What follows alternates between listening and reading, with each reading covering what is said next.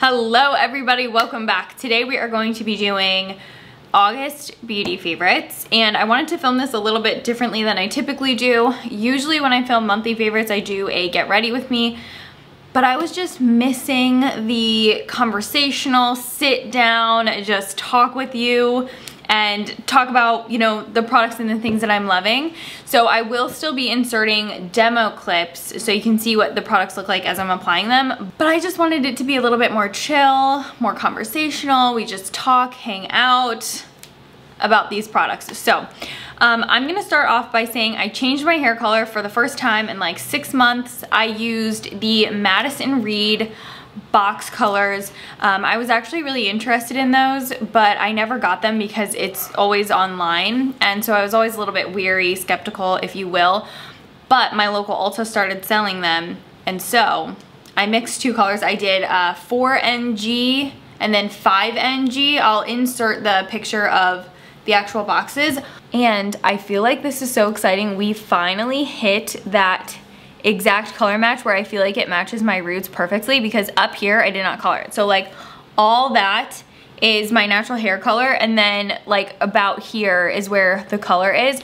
So I only colored like where I saw the line of demarcation from the previous color and I'm so excited to finally find like the right match so I can keep coloring the bleached ends of my hair because they really do start um, changing color when the color starts fading. So it's just like you know, it's easier for me if I can just grow out my natural hair color. That's been my goal ever since I stopped bleaching was to not have to keep coloring the roots. And even when I go out into the sunlight, you don't see like a weird line. It all just matches. And I'm really, really happy with the way it turned out. I think it looks really nice, healthy and shiny. And when this fades, I'll definitely continue to color the bleached areas with that Madison Reed color. Unless I, you know, I can't say that because, you know, I might find something and change my hair color, but I could see it being my hair color for the next couple months. Sunscreen, I'm loving it. This one is from Eve Lom. It's the Daily Protection SPF 50. Now, I know that this is a really high price point. It's very bougie, but I am one of those people who kind of hates sunscreen. I hate having to test them out. When I find one that I really like, I tend to stick with it, but I still enjoy trying other formulas because I always feel like there's something better. A lot of times sunscreens break me out or they leave me with a really noticeable white cast.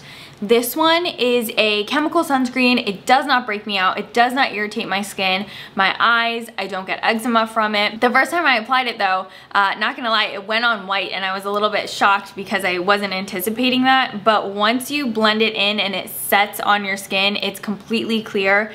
And honestly, like such a good switch up if you aren't somebody who likes using primers. I feel like this honestly leaves you with such a nice silky smooth, a little bit of a dewy base, but it just looks so beautiful. It does not pill under makeup and it does not, you know, make your face greasier throughout the day. So I am truly so excited about this. I just like it so much. I loved this little lip balm from Naturium. It's the Phyto Glow Lip Balm in the shade Camellia. So you can wear this as a lip color on its own, but this stuff is so moisturizing. You know I like to put lip balm on before I do my makeup just so that it has the whole entire time to really sink in and then by the time I get to lip color, my lips have like fully absorbed that lip balm and they just feel really nice and prepped for lipstick. And it's just a nice routine to have, especially if you're somebody who tends to wear matte lipsticks try that out but um, I really really like this. It's so moisturizing. This month I feel like my skin is actually in a pretty good place. I've not had quite as many active breakouts. I feel like some of my hyperpigmentation has finally started to fade and my skin tone's just looking a little bit more even. So on days where I really didn't want to wear makeup I would just spot concealer around the face or if I wanted more coverage like today and I want like a little bit more of a soft glam look, I was doing skin tints. So it's hard for me to choose between which one I was wearing more because I really did bounce back and forth between the two of these. Huda Glowish obsessed. There's something different about this skin tint. I don't have anything else like it in my collection. I've mentioned that before. It is very moisturizing and almost kind of feels like a balm as you're blending it in. You can wear this sheared out. It has customizable coverage so you can really build it up if you want, but it already has a built-in luminizer so your skin just looks very dewy and radiant. And I think it looks the best just like sheared out for a little bit of coverage and to help even out the skin tone tone. And then the other one is the L'Oreal True Match Nude. Still so obsessed with this one. This one has a pearl to it as well, but when the actual like formula sets down on my skin type, this looks like more of a satin finish with a little bit of luminizer to it. So it's not quite as dewy as the Huda, but again, you get the best of both worlds because you can wear this sheared out on the skin for just a little bit of even tone and some blurring on imperfections, or you can really build it up and get some really great coverage. So I don't think you can go wrong with either of these. This one's gonna be more, you know, satin, a little bit more of a powder finish, whereas Glowish is definitely much more dewy and um, I just, I love that look. Like the Glowish one is gonna make your skin look really beautiful and bouncy. We are loving a lighter formula concealer right now. It is hot, it is sweaty, my face sweats, I don't like feeling sticky. So I love this one from Nudestix. It's got a little bit more of a gel-like formula and it really does blend out and feel super lightweight. I can still use this to cover up blemishes. I have like an active nose it right now that has been on my nose for weeks. It goes away and then when it's starting to go away, I've done it two or three times. I try to like pick at it to get the rest of the stuff out of it and then it comes back to a head. So that's, I need to just leave it alone, but it, it really will not go away. But that's my point. It covers pimples really well too. And I just like how lightweight this is. And even on days, like I said, where I don't want to even wear a skin tint, I'll just wear this on its own or some of um, like a matte concealer if that's what I'm going for. But honestly, even on days where I don't want to wear foundation, I just want to wear a little bit of concealer, I could go in with this or another one. But the thing that I've really been liking about this one is even when I do put it on top of foundation or skin tints, it still feels lightweight and doesn't feel like another gloopy, gloppy layer of concealer when it's really hot out. I know we don't love powder on a daily basis. We love to look dewy and youthful, but when it is this hot, you need to set with powder. Even I do, because sometimes I feel like it just, it helps keeps things in place. It helps things from shifting and migrating and settling into different places on your face. And day in and day out, I've been reaching for the Laura Mercier Translucent Honey Powder. Now, the amazing thing about this is it's the same formula as the original Laura Mercier Translucent Powder, but it's got this gorgeous honey undertone to it. So if you have, you know, yellow undertones to your skin or even you're just more of a medium to deep skin tone, this is gonna be a lot more colored skin friendly because it doesn't leave you with any white cast or any ashiness because it's just gonna put like a little bit more of a yellow toned brightness on the skin. Although I will say you barely even see that and it really does just, you know, smooth everything out and set the makeup in place without making you look dried out and chalky. My favorite way to apply it is with a damp sponge. I feel like that's how I really get the best results. You can use a brush, but Try it with a damp sponge. I think you'll like it a little bit more. It's almost like it makes the powder go a little bit further and it just applies a lot more smooth to the skin. Two bronzer products I'm literally loving. So Sculpt Soft Sculpt Bronze from By Mario. This is what I've been using to contour with. It's quite similar to Benefit Hoola, but slightly lighter. And it's also got just the tiniest bit of shimmer to it, so it's not easy to go overboard with. And it kind of makes contouring a little bit more foolproof, um, especially if I don't have a tan from the sun or I don't have any spray tan on. I do like something a little bit lighter, and this fits the bill. It blends out beautiful, and I just, I love the Mario powders. I think they're so finely milled and gorgeous. And the bronzer that we have got to talk about, it's not even a bronzer, it's the Luminous Silk Setting Powder from Giorgio Armani. I just purchased it in the shade 11.5, which is for a deeper skin tone to set with. I cannot tell you how much I love this and how I wish that I had tried this sooner. And I said this in a previous video, I really do want to get the shade for my skin to try setting with. But I mean, even in the pan, you can see it reflects back light. It's gorgeous. It feels like a cream but it's a powder. It's so emollient. This tone has the most gorgeous red undertone to it, so it really looks like you've been kissed by the sun. And that gorgeous like little bit of luminosity that you get that just reflects the light in all the right ways. I can't get enough of it. Um, I really like just putting it all over my entire face and I like actually taking it on a little uh, angled brush and kind of contouring my nose with it and I feel like it just gives you that really cute um, been in the sun, you know, sun-kissed nose and it just replicates that so well. I just, I am so head over heels for this powder. This highlight did not disappoint. I purchased it pretty recently, but have been reaching for it when I want that like soft, really gorgeous candlelit glow. This is the Tom Ford Moonlight I'm sorry, Mood Light in shade number one. So you get two different shades. You have more of a rose gold shade and then this one's like a white gold.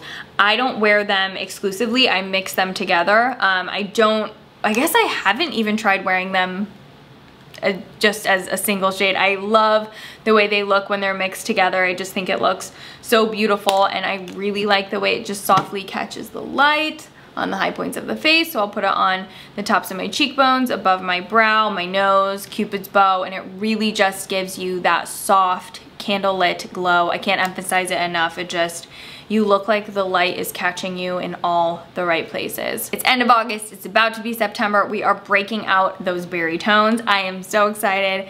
We are berry girls for the fall. You cannot deny that a berry toned blush and a berry lip it hits different in the fall. It just looks so good and I am loving Charlotte Tilbury's Walk of No Shame blush. I am such a big fan of her blushes in general, the Cheek to Chic blushes, because around the core of the product you have the shade and then in the middle you have an illuminator. So if you wanna make the blush a little bit more glowy, reach for a little bit more of the illuminator. If you want it to be more concentrated on the color, you can just swipe your blush, uh, your brush, your blush brush around the edge of the product and you'll get more of a concentrated color because the shade itself is quite luminous. But this is seriously the most beautiful berry blush with a gold shimmer to it. Does that not sound intoxicating for the fall months? I mean, I get so excited for this time of year because of the berry blushes. Yes, you can wear berry blush all year round. I'm not saying it's exclusive to fall, but just like berry blush in the fall, it just gets me in the mood. I love it so much. And this is such a beautiful shade. I was actually um, inspired because my friend Megan started using this and I was like, that looks so good. You also know I like to hit you with those brunette perfect shades and we're gonna talk about our shadow. This is our shadow, it makes brown hair, brown eyes, it just makes your eyes twinkle. It is really unique because it's a rosy bronze. So it's got a good amount of like a reddish pink undertone to it, but it still, you know, catches the eye as like a copper brown, but against the brown eyes, I just think it like really makes them twinkle and look really beautiful. So it's called Forbidden Rose. It's the Caviar Eye Stick from Laura Mercier and you can use this even as an eyeliner if you'd like but what I like to do is just apply it to my eyelid, blend it out with a fluffy brush and then I'll even take it on the lower lash line. Brunette, brown eyes, this is our shade and it's gonna be so great for fall. These are also so beautiful. They are long wearing. You don't have to wear them on their own. You can also use them as a shadow base. So you can put powder shadow on top if you'd like, but they last throughout hours and hours on the eyes. And um, for my eyeliner, just like all I did was for my look was I put a little bit of brown eyeliner on. This is the Planet Revolution dark brown eyeliner. I just put that along my lash line, smudged it out, and then applied this right on top. And I really buffed it like a little bit into the crease as well. And you've got a look and your eyes, they pop. This is a new product to me. It's the Maybelline Brow Ultra Slim 1.5 millimeter defining pencil. So tiny, you know, I'm just like really craving these super, super tiny pencils right now because I really want my brows to look more full, but I don't like when I use pencils that are too thick that they just get cartoony. I really want to be able to draw all those hair-like strokes in, and I got mine in the shade black because I feel like my hair is, you know, really dark, so I'm not reaching for brunette brow pencils as much anymore. I like this. it's way more affordable than the one from Refy, Refy, Refy. It's a lot more affordable than that one. Still love the one from Refy, but it's gonna, I'm just, I use brow pencil so much because I really like that like full fluffy brow look, which leads me to my next product I wanna talk about really quick. I've been using Rogaine on my eyebrows for about a month now, I wanna say. I'm not noticing any difference. I just put it on my eyebrows in the morning and then I put them on my eyebrows at night. I saw that uh, Charlotte Palermino, who I love, um, on her Into the Gloss episode, or not episode, her article, she talked about using Rogaine in her brows and how it keeps them looking really full and fluffy. So I wanted to try. This is probably gonna last me like over a year because I use like a dime sized amount, put it on a Q-tip, run it through my brows. I do plan on doing a before and after so we can actually see if it works. But yeah, that's like my brow move right now. And then obviously still setting with the Anastasia Brow Freeze Wax. I feel like even when you just see it on one brow compared to the other, it genuinely like lifts up your face because this brow gel is so industrial strength and you can really truly control the shape of your brows. And it's pretty wild to me how much like more open one side of my face will look when I only set one side compared to the other one because you can just really lift up that whole entire area and your brow looks like you've gotten a little bit of a lift. Like, don't people do Botox to get like brow lifts? Because I feel like you can get that effect with this. In terms of lashes, I started using the Grande Lash MD again. Do you remember when my lashes were so long? They looked like falsies. I was watching some of my old videos when my lashes were like super long when I was consistently using this. I'm convinced that my lashes were longer when I was using this versus Latisse but I don't know. like, I'm gonna use this for a few months, see where we're at. We'll see if it's actually in my head or if Latisse was actually making my lashes longer. I don't really know, but we are using Grande M Lash again because it really does make your eyelashes look like falsies. I put it on my top lashes and my bottom lashes. I feel like my lashes are getting noticeably longer again, but I have this mascara primer that is really changing the game for me. I've talked about it for years. It's the Lancome Cils Booster. It's this little white lash primer. This primer layers on top of itself so well because you can really just focus it right on the tips of your lashes and almost wait for it to dry a little bit in between each coat and then keep layering it on top of itself and you can actually see your lashes lengthen when you're applying the primer. And then when you go in with your mascara, whatever mascara it is, it can be a drugstore mascara like the Maybelline Lash Stiletto. It just makes such an impactful difference that when I don't use this, I feel like why wouldn't I? Because I can use a cheaper mascara and I get so much more result from the mascara by using the primer. You can even put it on your lower lashes if you want, but if you are truly craving extra length and you feel like your mascara is really not giving it to you, try this. I promise you it is amazing. That's why I always recommend it every once in a while because it's that good. This is about to be one of the most random references I've ever made, but I was so inspired by Jennifer Coolidge's makeup in White Lotus. I think whoever did her looks for that show, incredible. I was so inspired by how it was kind of like a modern 90s makeup look and the hair was so good. She just looked so phenomenal the whole season, but it was her lip colors. Like her lip colors were so perfect. They were like the right pinky nudes and I have just been searching for those types of shades because I loved the way her lips looked in the whole show. And the perfect lip liner, I think, to really get that look, and I've really been loving it, I'm wearing it today, is Wherever Walnut from Makeup Forever.